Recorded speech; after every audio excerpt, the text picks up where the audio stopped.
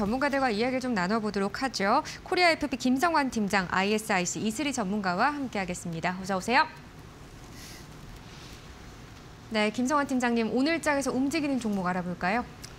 네, 오늘 장에서 눈여겨볼 종목 그 MPC 한번 같이 보도록 하겠습니다.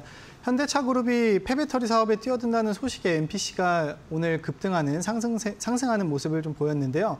현대자동차, 기아차가 폐배터리 테스크포스 팀을 신설하고 신사업에 본격적으로 뛰어든다는 소식이 주가를 끌어올리고 있습니다. 어, 현대차가 7일에 어제 발간한 이 지속 가능 보고서에 이 같은 폐배터리 사업 전략이 구체적으로 드러나 있는데요. 전기차 배터리 같은 경우에는 8에서 10년 정도 사용하면 잔종 용량이 기존 대비해서 70% 정도로 줄어듭니다. 현대차는 이 같은 이 교체나 폐기 대상인 폐 배터리를 에너지 저장 장치로 재사용하거나 원자재로 추출해서 재활용할 예정인데요.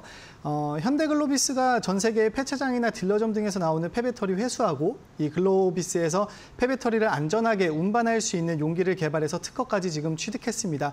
현대차는 수거한 폐배터리를 ESS 에너지 저장 장치로 재사용하는 실증 사업 지금 현재 진행하고 있고요. 그 수 거한 배터리 중에서 최상위 품질의 배터리는 현대모비스가 재제조하기로 했습니다. 보통 폐 배터리 같은 경우에는 재사용하거나 재활용하는 것이 대표적인데 현대차 그룹의 폐배터리 배터리 사업은 재사용, 재활용이 아니라 재제조를 하겠다는 겁니다. 이 폐 배터리 기술력은 향후 전기차 사업에서 반드시 필요한 능력으로 꼽히고 있는데 오늘 이 특징주로 좀 눈여겨볼 MPC 같은 경우는 플라스틱 물류 기자재 업체입니다. 현대글로비스와 전기차 배터리 전용 용기 개발하고 특허 까지 취득한 상황인데요.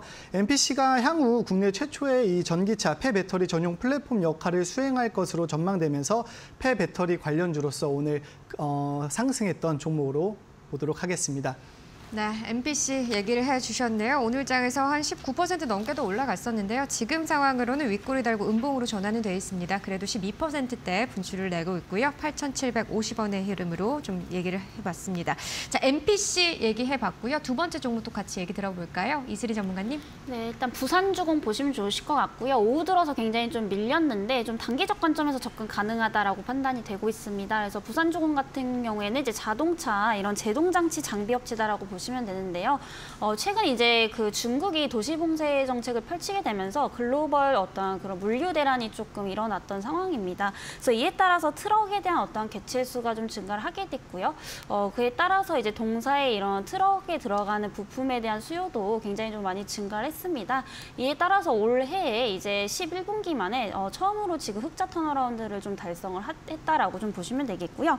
어, 문제는 이제 지속 가능하냐 이게 좀 문제인데 장 장기적으로는 조금 한계가 있을 것 같습니다. 그래도 적어도 올해는 좀 좋을 것으로 좀 예상이 되고 있는데요. 일단 최근에 이제 올해 들어서부터 환율이 굉장히 강세입니다. 아무래도 달러 강세이고 이제 동사 같은 경우에는 이제 수출 기업이기 때문에 그에 따른 이제 순이익에 대한 마진이 높아질 수밖에 없어서 어, 전년 동기 대비보다는 훨씬 더 어, 마진에 대한 이익이 좀 개선이 될 것으로 예상이 되고 있고요.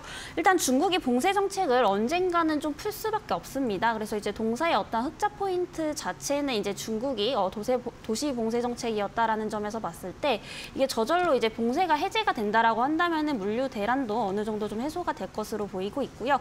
이에 따라서 이제 내년부터는 좀 전년도 수준으로 돌아가지 않을까라는 판단입니다. 그래서 장기적 성장은 좀 쉽지 않을 것으로 판단이 되고 있고요. 다만 동사 같은 경우에 최근에 이제 농기계 관련주로서 또 이제 우크라이나 재건 관련주로도 엮이고 있기 때문에 이러한 어떤 단기적인 테마 관점에서는 좀 접근을 해보셔도 좋겠다라고 네, 정리를 드려보도록 하겠습니다.